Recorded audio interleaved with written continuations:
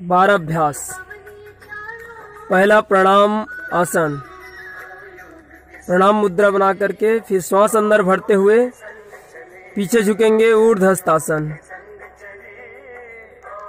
फिर श्वास छोड़ते हुए आगे की ओर पाद हस्तासन फिर बाया पैर पीछे, दाएँ पैर पे बैठने का अभ्यास, दक्षिण स्व संचालन आसन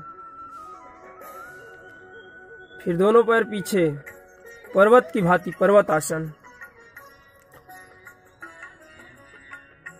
फिर षष्टांग आसन। फिर श्वास अंदर भरते हुए भुजंग आसन।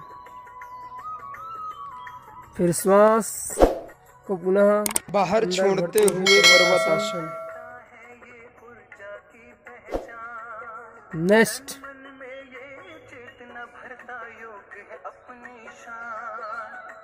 आसमान की ओर पूरा नज़र रखते हुए फिर दोनों पैर सामने लाएँगे